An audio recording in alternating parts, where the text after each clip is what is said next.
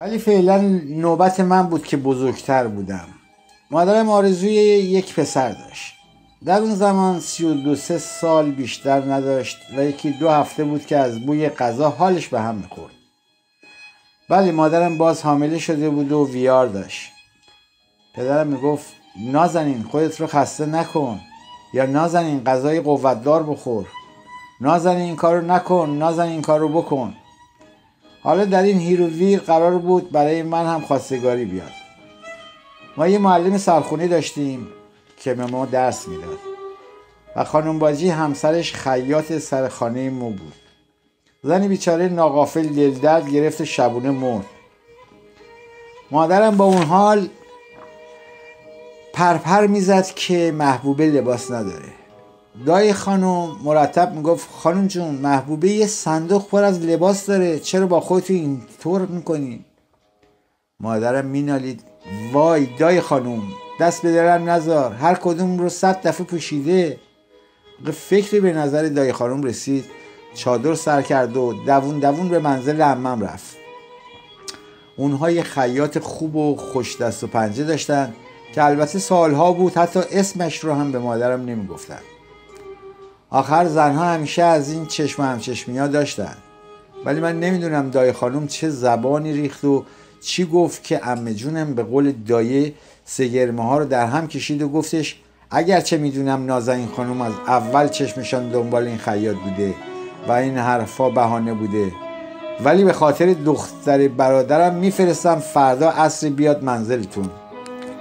ولی از قول من به نازنین خانم بگو خانم ما که هر کاری از دستمون برمیاد کوتاهی نمی شما هم اونقدر با ما سرسنگی نباشید. پدر در اندرونی بود که دایه مخصوصا جلوی او پیغام رو به مادرم رسوند. مادرم با چشمانی که از شوق پیدا کردن یک خیاط خوب برق می‌زد و از پیغام امه جونم ظاهرا متعجب و باطنا غضبناک بود. رو به آقا جونم کرد و گفت وا چه حرفا؟ می‌بینید آقا؟ البته خدا عمرشون بده. خانومی کردن که خیاطیشون رو فرستادن. ولی من نمی‌دونم چه کوتاهی چه جسارتی در حق کشور خانم کردم که هر دفعه یه بهونه صحبتی می‌کنن که دلگیری پیش بیاد. انگار خوششون میاد مرا بچزونن. پدرم با متانت رو به مادرم کرد و گفت پس خانم شما باز هم خانومی کنید و لطفا کوتاه بیایید تا واقعا دلگیری پیش نیاد. موضوع رو هر چقدر کشش بدید بدتر میشه. ولی آقا ولی آقا نداره. هر که گوش رو می‌خواد گوشواره رو هم می‌خواد. من که شما رو چشمم می‌ذارم. گناه خواهرم رو هم به بنده ببخشید.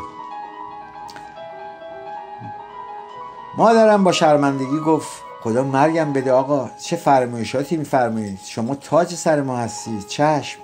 بازم به خاطر گل روی شما چشم.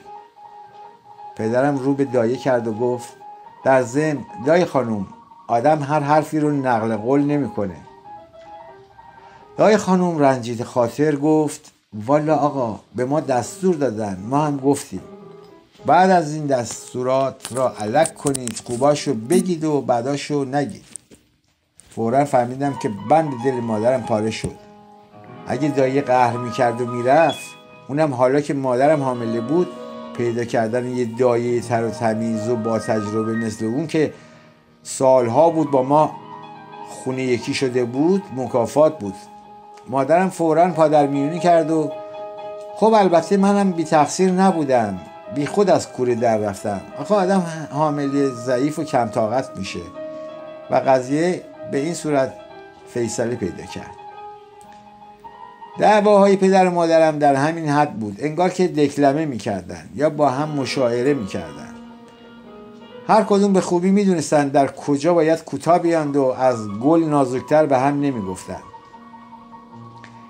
خطاهای یکدیگر رو به روی هم نمی آوردن اینها گذشت تا اونجا که ما همگی می‌دونستیم وقتی پدرم دو هفته یک بار شبهای سهشنبه بیرون میره و شب به خونه بر نمیگرده در منزل اسمت خانم همسر دومش میخوابه. ولی نمی‌دونستیم آیا مادرم هم می‌دونه و به روی خودش نمیاره یا واقعا نمی‌دونه. پنج سال پیش از اون وقتی من ده سالم بود و مادرم خجسته را زاییده بود پدرم ابدا اظهار ناراحتی نکرد. حتی مثل همیشه برای مادرم یک سینریز طلا هم خریده بود.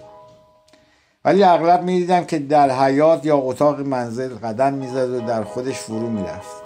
تا اینکه شبی به مادرم گفت که به مهمونی به منزل میرزا حسن خان میره.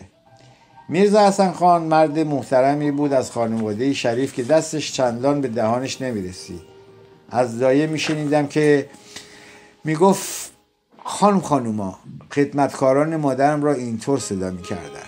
میگن اهل شعر و ادبه خوب تار می‌زنه ولی از او بدشون میاد. چون اهل دل خوشگذرونیه هر وقت آقا از خانه اون برمیگرده دهانش بوی زهرماری میده. اون شب گویا پدرم افراد می‌کنه و سرش گرم میشه و سفره دل رو پیش میرزا حسن خان باز می‌کنه که چقدر دلش پسر می‌خواد و زنش چطور دخترزا از آب در اومده. میرزا حسن خان هم نامردی نمی‌کنه و خواهر بیوه و زشت خودش رو که مثل چوب کبریت لاغر بود شبونه برای پدرم سیغه می‌کنه و میگه او از شوهر اولش یک پسر دو سه ساله داره شاید براش هم یک پسر کاکلزری بیاره. شما فقط سرپرست او باشید و سایتون بالای سرش باشه. همین کافیست صبح که پدرم از خواب بیدار میشه مثل سگ پشیمون میشه. ولی دیگه کار از کار گذشته بود و نمی‌تونست از سر قول خود برگرده. همون شب اسمت خانم حامله میشه و نه ماه بعد دو قلو برای پدرم میزاد. هر دو دختر هر دو هم سر زا میرن.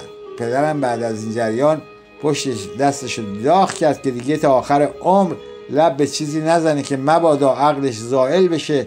البته مطابق قولی که به حسن خان داده بود هر 15 روز یک بار به سراغ اسمت خانم می‌رفت. ولی او دیگه حامله نشد. گفتم که پدرم عاشق مادرم بود. مادرم نسبت به زمان خود زیبا بود. زنی نسبتا چاق سرخ و سفید با موهای روشن چشمایی درشت میشی و قد متوسط. شنیدم که پدرم گفته بود همسر شبیه خانمهای زیبا و متشخص روسیه است. مادرم هر بار که برای خانمهای فامیل یا دوست آشنا این جمله رو از پدرم نقل می‌کرد از فرط شادی از خنده ریسه می‌رفت. دور افتادم داشتم می‌گفتم بهار بود و قرار بود فردا از خیاط امه به خونه ما بیاد. سه هفته دیگه شب تولد حضرت رضا بود. به قرار بود شازده خانم همسر عطال دوله برای خواستگاری به منزل ما بیاد. خواستگاری من برای پسرش. سودابه هیجان زده پرسید راست میگی امی جون؟ همون که سالها از رجال معروف ایران بود؟ وای باورم نمیشه. راستی و خواستگار شما بود.